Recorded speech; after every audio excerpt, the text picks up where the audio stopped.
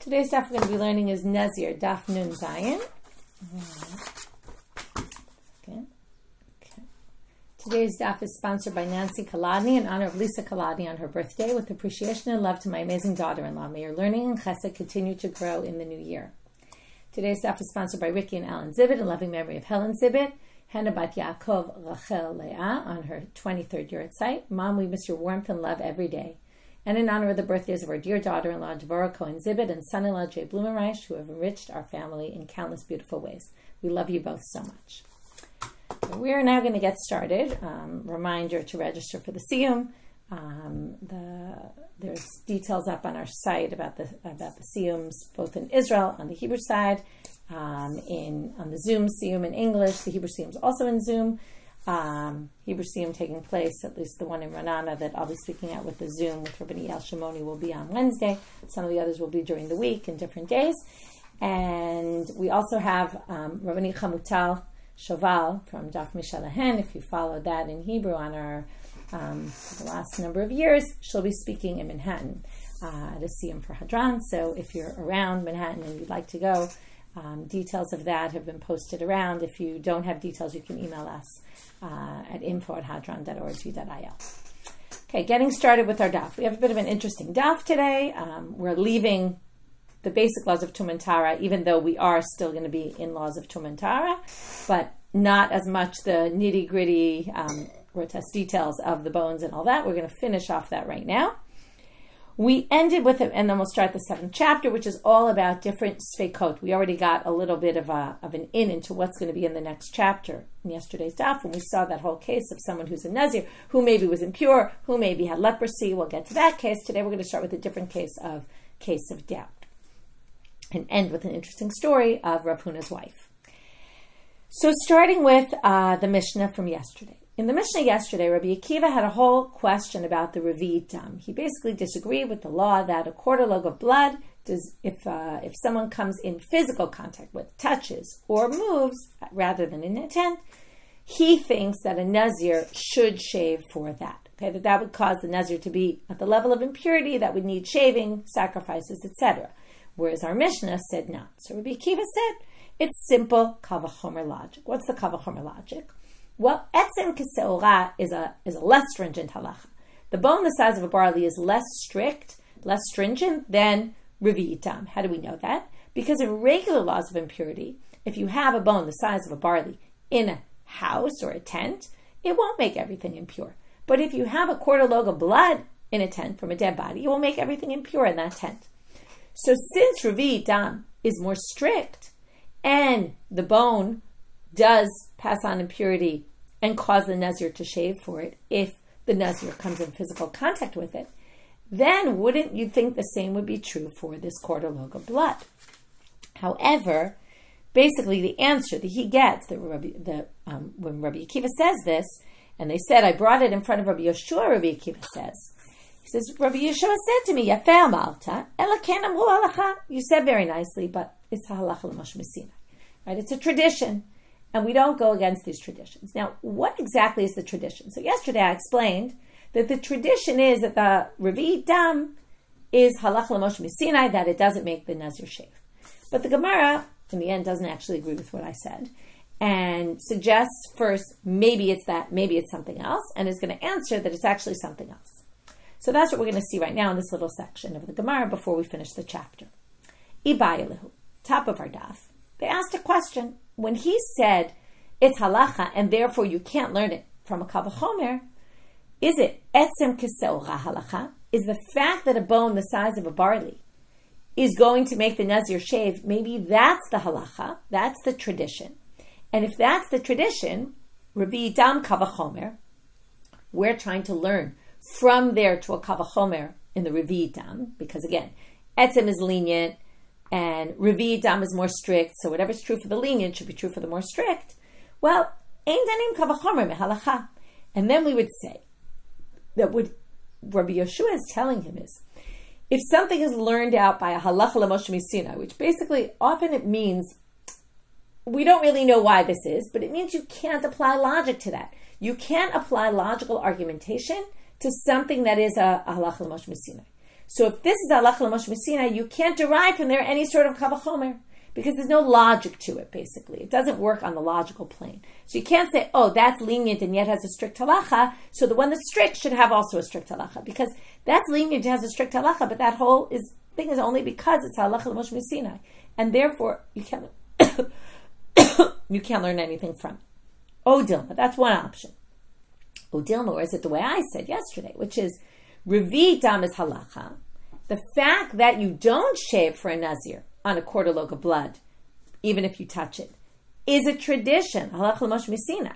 And etzem ksora kavachomer, which means theoretically you might want to do this kavachomer from etzem ksora to revi dam, but you can't because ain't danim kavachomer mehalacha. But you can't do a kavachomer to derive something that goes against a tradition. That's the way we understood it yesterday. Option two. But interestingly, the Gemara is going to choose option one. And the Gemara is going to say, not like we explained it yesterday, but Tashma, let's learn from here. There's a Braita that reads like this.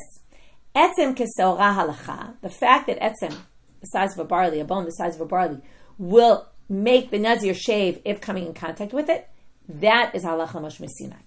And Revi Dam is a kavachomer. Revi Dam, you might want to learn kavachomer from there, but you can't because ain't danim kavachomer mehalacha.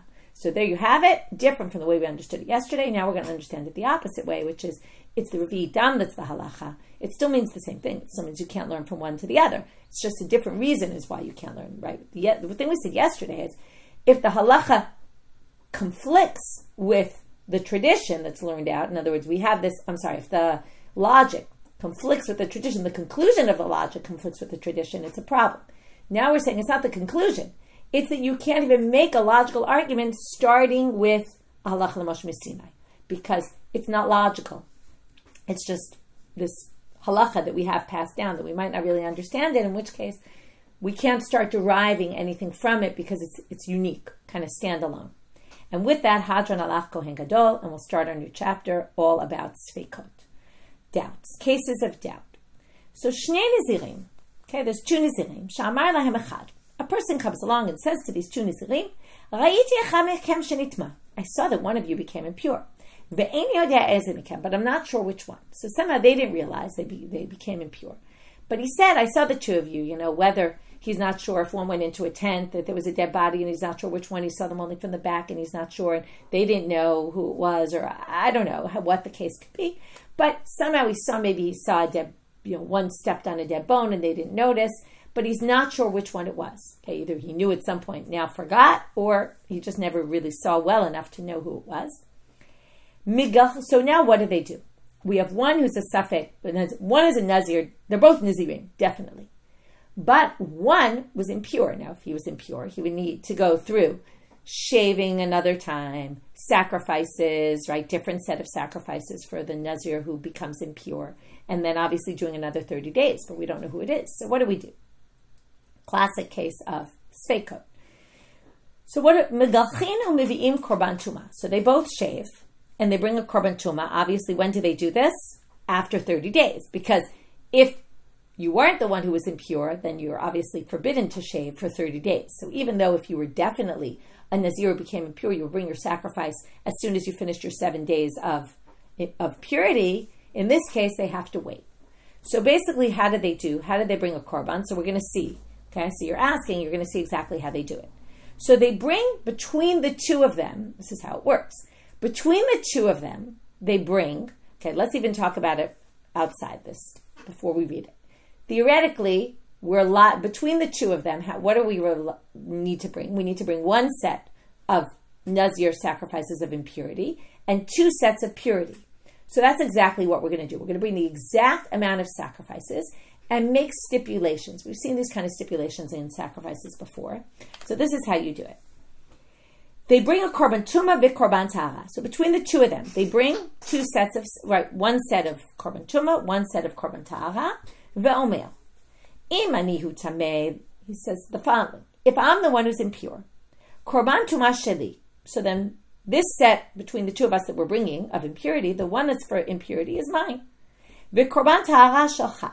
And yours is the purity one, is the one of completion of Nizirut. And if it's the reverse, and the one who's pure, Korban Sheli, Korban then the set of impurity is mine, of purity finishing this is mine, and the tuma is yours.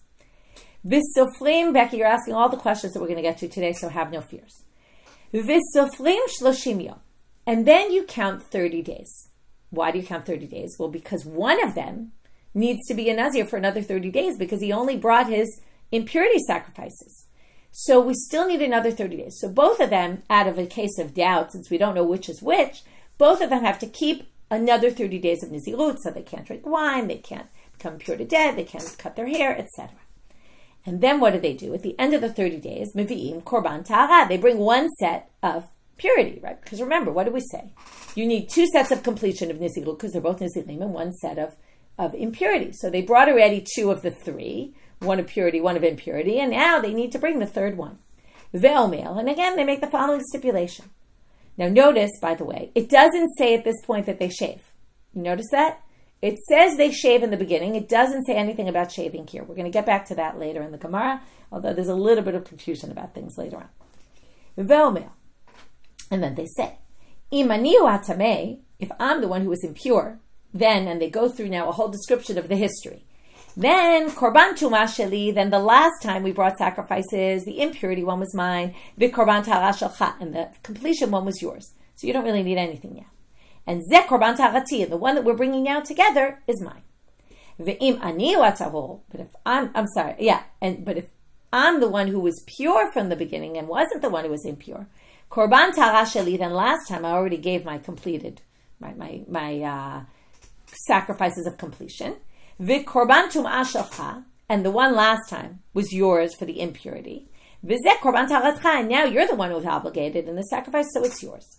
Okay, so we have a very good solution is to how to bring, we don't need to bring any extra sets because you can't bring sets out of doubt, right? It's sacrifice. You can't bring sacrifice we already learned for no reason. The other issue, as Becky pointed out, is going to be the shaving. Why is the shaving a problem? Because you're not allowed to shave your payot right? And the Nazir has to shave all of his hair, including the pe'ot. Now, that's only allowed if you're actually a definitive Nazir. So the Mishnah actually seems to have it pretty good because the Mishnah says they both shave the first time, but they don't shave the second time. However, the Gemara is not going to understand it that way. The Gemara maybe it's unclear what the Gemara understands, but perhaps the Gemara is going to understand that even though it doesn't say you shave at the second stage, you do shave at the second stage. And then we're going to have a bit of a question how on earth are you allowed to shave? So even though the simple reading of the Mishnah seems to say they only shave the first stage, they're going to seem, at least according to some commentaries, that the Gemara is going to seem to believe that you even shave at a later stage. So now the Gemara asks, before we get even to that, the first question of the Gemara is very simple. There's a concept, it's simple if you understand this concept. There's a concept, I'm going to read this all inside in a minute, but I'll explain it outside first. We're going to learn it from Sota, it comes up many times in the Gemara. Now it's nice because we're leading into Sota. What's a case of a sota? A case of a sota is a case where a man is jealous of his wife, that she's been talking to some man, and he warns her, don't go into a room alone with him, and then she goes into a room alone with him.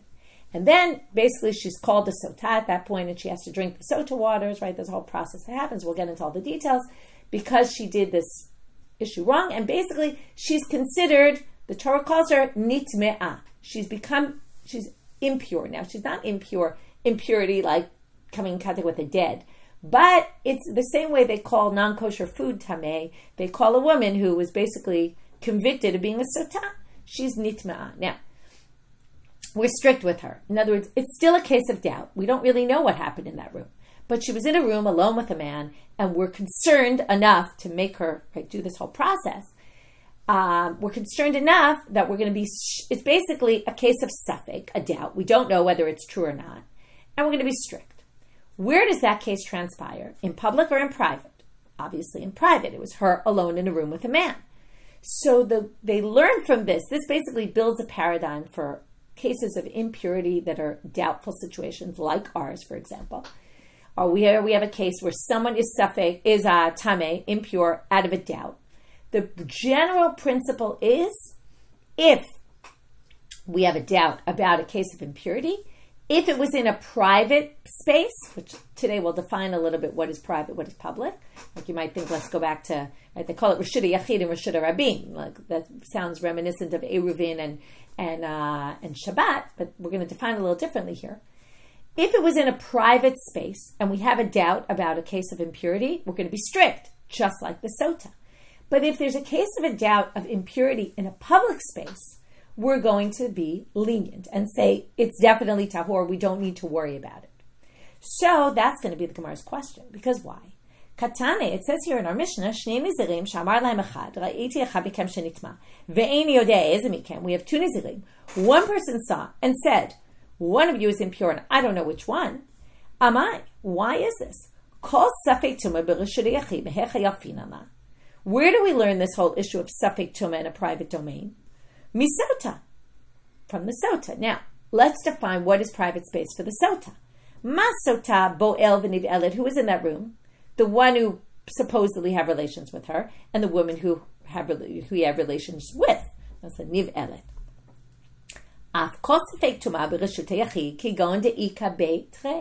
What is a suffix that's like that in a Rashut Yachid? It's not just about what type of domain was it, it's how many people were there. So, how many people were there? Two. So, any case where there's two people and no more, right? We know this from, let's say, laws of Lashon Hara also, or what we call Rechilu telling something that some, if somebody tells you something, if they said it in front of two people, we consider that private. Once they tell three people, we just know word's going to get around. They knew that word was going to get around, and basically it's public information. So, things that are with two people are still private. Things with three people are public. And we learn it particularly from the Sota that there were two people there. But our case had three people. We had the two Nizirim who were in doubt, and we had the person who saw them. So there were three people in that space. Now, what's defined as space is a good question. Some people say it has to be they were within four cubits of each other, or they were in enclosed space. We don't know exactly. But it seems that these three people were together, and therefore would be public. Now, public, safek in public, we just said, you're pure. So you shouldn't have to worry at all about this whole, the whole mission is irrelevant. So what do they answer? Right. So again, um, there were there were three. I'm not sure if I read all these words. So havale safek tuma berishit rabim. It's safek tuma in a public domain. V'chol safek tuma berishit rabim sfekot tahor. And every safek tuma in a public space is pure. To which Amar Rabba Bar Huna, Amar Rabba Bar Huna explains that the Mishnah is in a unique case. This is what we always call an ukimta. The Mishnah is not in any case where there's three people there. It would have to be in the following situation. Be'omer, where he says, Ra'iti. The third person wasn't close to them. How far, we don't know. But he was at a distance, and he said, I saw some tumah that fell upon you. In other words, I saw it from a distance. Maybe that, and, and that's what Rav Ashi is going to say. I'm a Rav Ashi, Daikanami. You can even infer that from the wording of the Mishnah as we move now to Amubet. Dikatane eini yodea ezemiken. Shmamina. Here's the proof. Proof is in the pudding. Why? He says, I don't know which one of you. Why doesn't he know which one of him? Because he wasn't close enough to them. He must have been at a distance. And that's why this case ends up being. So our first issue is a very side issue, which is, it's not side, it's pretty essential, but it's basically saying, why is there even, why do we even treat this doubt seriously in this case? Isn't it a safek tuma in Rashid Rabim? In which case we don't, in a public domain, in which case we don't have, an, it shouldn't be an issue at all. So they basically define it as a Rishud Yachid. It must be a private, and again, it's what we call an Ukimta. That means that if the three people were really together in a, in a space, it wouldn't be a problem at all. It would have to be that one was far away and the two of them were together. It's obviously still a little different than the Sota, because the Sota, nobody saw them, right? They only saw them go into the room. They didn't really see what happened there. Here he does at least see, but it's still considered private. Okay. Next issue. Now we're going to get to this issue of the Tiglachat and how it relates. So remember, let's just review. There's an isur, lo takifu pe'at roshchem. Don't take off the pe'ot, but it's said with this word lo takifu. Takifu is to, to go around, which also, we talked about this before, perhaps there's a there's an opinion that perhaps the only issue is if you just cut your pe'ot, the side locks, but you leave the hair meaning you end up with this round. That's the word takifu, to make a round. You end up with like a circle kind of haircut, and maybe that's the issue. Maybe taking off all your hair is not an issue. But we did learn that many people say it is an issue, and it's just that the obligation of Nazir overrides the prohibition against cutting off your peot. So now the Gemara is going to question, and this is why I said it's a little difficult, because the first stage of shaving should be totally fine. Because either right? You're a Nazir Tahor or you're a Nazir Tameh. So you definitely are allowed to shave because you definitely need to shave. The question is only the later stage, really. And like I said, it didn't say you shave in the later stage, but we'll go with the commentary that seems to say we're assuming we're talking about the later stage. And then our question is the following: dilma inun. Maybe you weren't the one who was impure, in which case the second shaving you're going to do is going to be forbidden because maybe you're a regular Nazir. You shaved the first time, and now you can't shave off your payot anymore. There's no obligation of Nazir upon you to shave. So how do we allow this? So Amar Shmuel, Bi'ishava Katan. Again, another what we call ukimta, where the Mishnah is only talking to certain people. The Mishnah is not talking to men who are grown men. There, it's only the part now. The rest of it, yes, but the word migalchin, which is very interesting because you would think that the majority of cases of Nazirim and, in general, the Mishnayot are often thinking of the man in the center. Here they're saying, oh, the Mishnah was actually just talking to women and children. Okay, women and minors, because minors don't have an obligation. Right? They're not going to be liable if they do it. So therefore, since there's a suffix here, we'll shave his head. And the women aren't obligated in lotakifu. Right? That we'll see in a few minutes. How we know that there's no there's no liability for a woman to shave off her payot. So now they say the following. Shmuel says this is a woman and a minor, but a man would not shave at all in this case, right? He would shave the first time, he wouldn't shave the second time. So now they say, the "V'lukman begadol." Why don't you just say that? Why didn't Shmuel say it's a gadol and what? As I mentioned before, why doesn't he? Ju- why don't we just say hakafat kol arosh loshma kafa? Maybe this encircling your head by removing your peot oh, is only a problem if you're leaving hair in a circle formation. But maybe if you take off all your hair, you remove everything, including the peot, maybe it's not forbidden. So they say the following. We're going to infer from the fact that Shmuel had to say, which we assume he only said as a last resort, it's talking about a woman and a minor, or women and minors, from the fact that he didn't say gadol and hakafat kol arosh is not hakafa. Shema mina, we can infer from here, kasaval Shmuel, akafat kol arosh ma hakafa.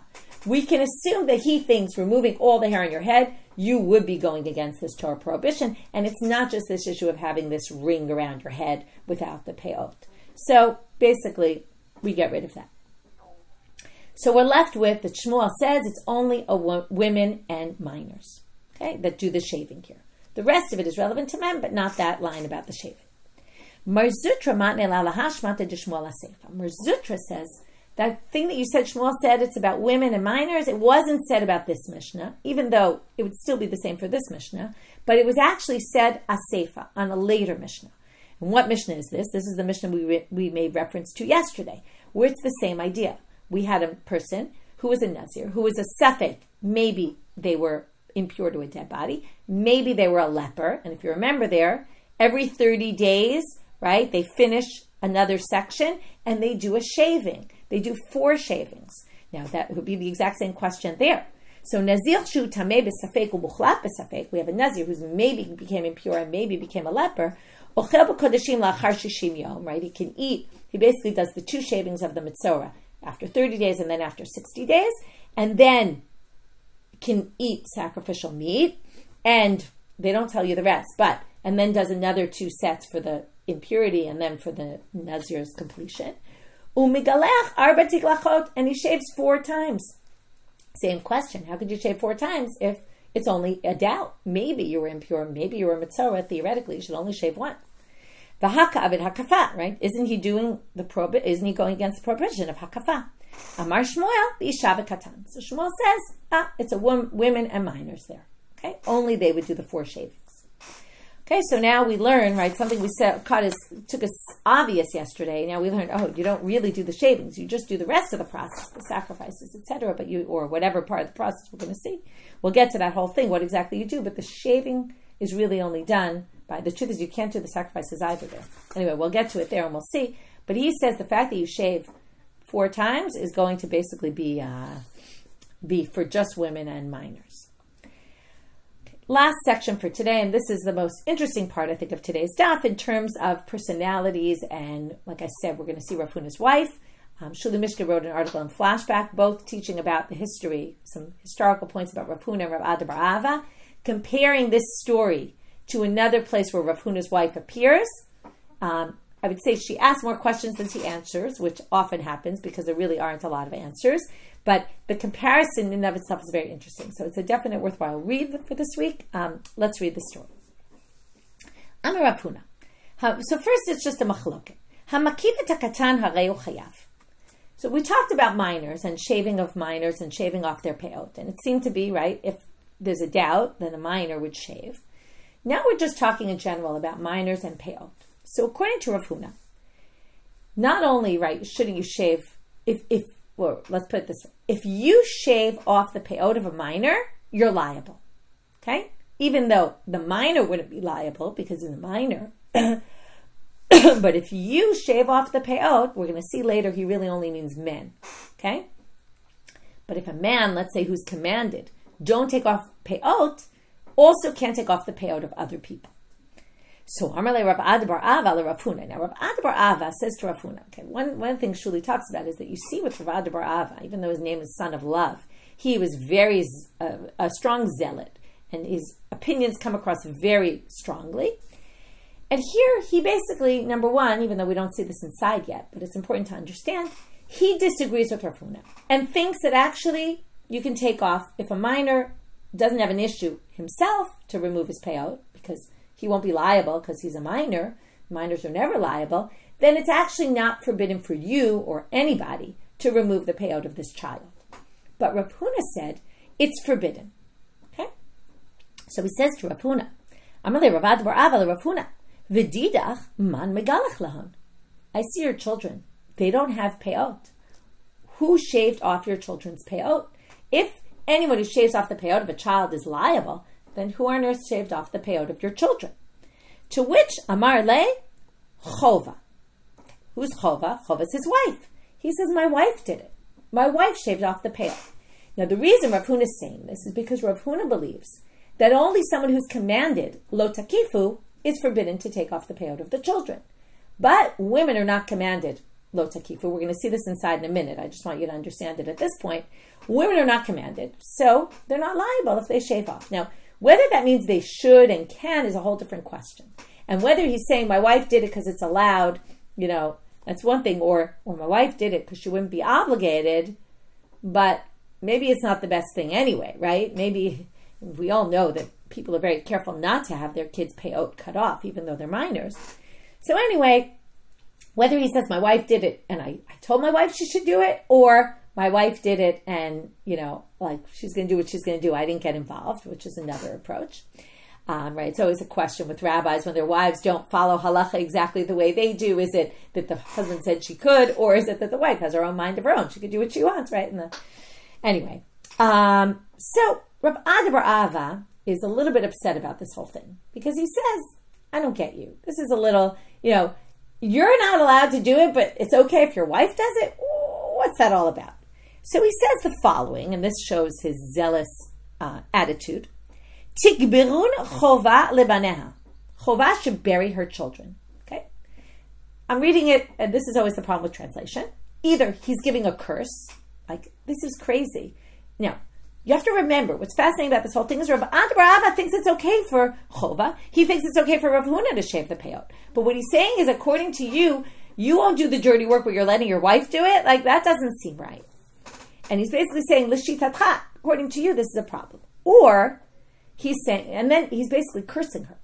Or maybe he didn't mean it as a curse, but maybe he's saying, according to your logic, she's really causing her son's death. Why is she causing her son's death? Because she's removing their peot.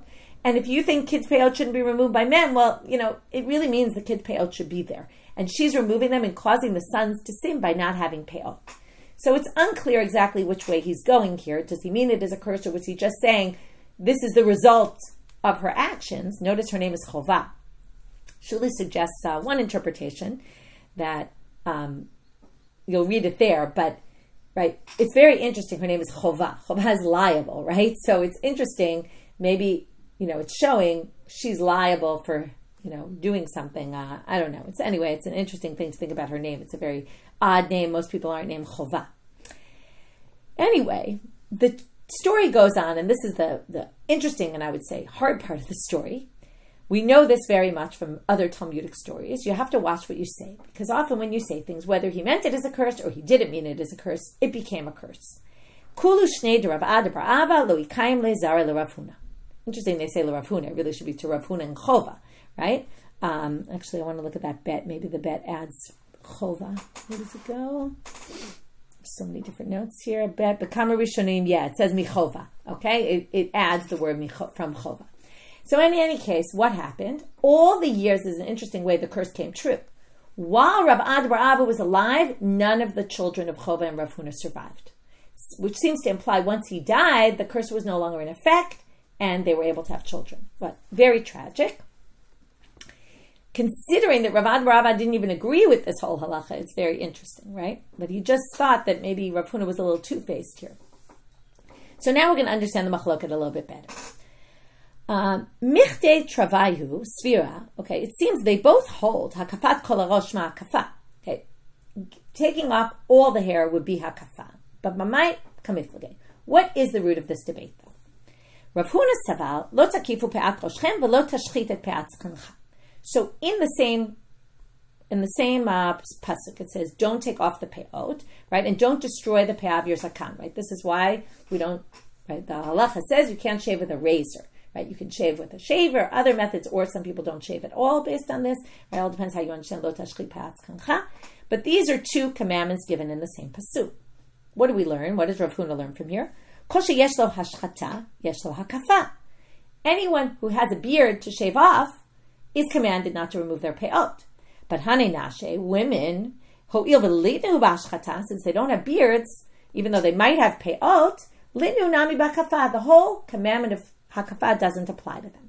And since it doesn't apply to them, they don't spell this out. But since it doesn't apply, it doesn't apply at all, not just to removing their own payot, but to removing other people's payot. So what this is basically saying is if, let's say, a man goes into a, a haircutter's and there's a Jewish woman or Jewish man, okay, whether the haircut is, if the haircut is Jewish and they're male or female, it will make a difference, according to Rav Huna. If the male cuts it off, the male is actually liable for removing someone else's payot. But the woman will not be reliable for removing the Jewish man's payot because she's not commanded. So it's a bit strange, and I think that's what Rav bar Ahava was bothered by. In the end, you're removing payot from someone who can't, right? Who who can't get their payot removed. So you're really doing something wrong, even though for you it's not wrong. Seems a little bit strange. So. It's right. The it includes both the person who um, takes it off, and the person though, like you're ignoring the person who it gets taken off of. itakish makif lenikaf. It basically connects these two. Makif nami mechayev. If the one who can't get the payot removed is liable, then the one who removes them is liable as well. Doesn't matter man or woman. So therefore, hai katan, Ho'il v'hu gufe lav bar onashinu d'mechayev. A katan, a minor, who won't get, won't be liable for this, won't get punished. He's not in the realm of getting punished because he's young. Makif nami la mechayev. So man removes them, a woman removes them, it doesn't matter. So basically, we have this machloka. Let's just review the machloka. We're going to stop here because then the Gemara is going to suggest maybe this whole thing about kafat kodol rosh is a machloka tanaim, and we're going to start it right to there. I'm going to leave that for tomorrow because we really barely started in today's daf. So this is the end for today. What we basically have is this machloket. Besides the whole interaction that happened with them, where basically Rav Ada ends up cursing Rav Huna and his, um, and his future children, really curses his wife and her future children. But we end up with this approach. Basically, Rav Huna says, if you, um, if you're liable, then you're liable for doing it to others. It has no effect on whether they're liable or not. So if you remove the payot of a minor, you're liable. Okay? But only if you're you yourself are, are commanded. So if you're commanded, you can't do it to someone else. Obviously, he doesn't say you can't do it to a woman who's not commanded, but a minor, because I guess a minor will grow up to, to be commanded, so you can't do it to a male minor. Whereas Rav Ada says it has nothing to do with your command, it has to do with the command of the one whose payot are being removed. And if you're removing the payot of someone who's liable, then you're liable for removing his payot. Male or female, it doesn't matter. So again, that would mean if you're a male grown person who goes to a haircutter's and a female or a male removes your hair, your sideburns, then basically they are liable. But if it's a minor, no one's liable, male or female, it doesn't make a difference. So the whole distinction, and that's why Rav Ada got so upset with Rav Huna, because he doesn't distinguish male or female. Now, he doesn't think you'd be obligated anyway, but he says to Rav Huna, why on earth would you distinguish male or female? It all depends on the person whose hair you're shaving. Mm. Okay, so that's the that's the interaction between them. Let's do a quick review of today's stuff. We started off with which is the halacha l'Moshe Sinai. Is it the etzem kaseora that a nazir has to shave, or is it the revi dam, the of blood that the nazir doesn't shave for? And why does that override the kavachomer? Right? Is it that you can't derive a kavachomer from a halacha l'Moshe Sinai?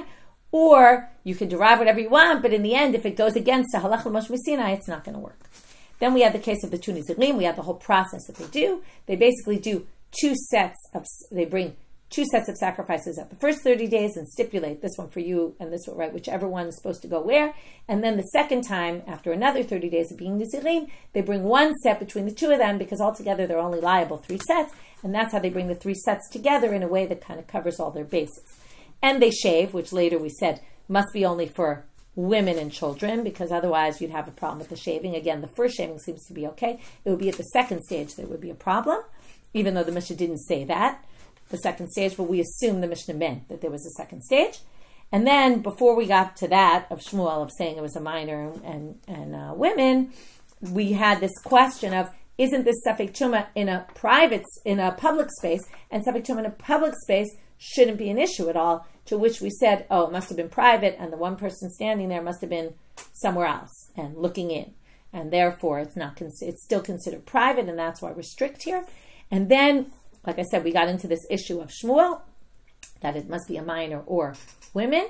And from there, we got into that he must hold that shaving off all your hair includes the prohibition of shaving off your side locks because otherwise he could have had a much better answer, which is there's no problem of a nazir of lo takifu because it doesn't apply. The nazir's taking off all their hair. And then we talked about the um, the taking off the the liability for taking off the hair of a minor. Is that a problem or not? Does it depend if you're a man or a woman and you're commanded in this or not? And I see you're asking, Adina. I, I'm not 100% sure, but it seems to me that if you go get a haircut and they take off your payot and they're also liable in the case, right, depending on who you hold by.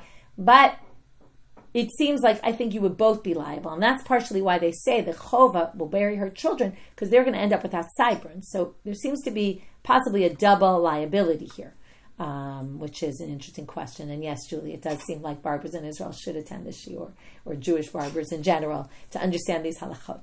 Okay, again, this is not a halacha class, so um, obviously there's different opinions here. With that, we'll finish for today. Have a great day, everybody.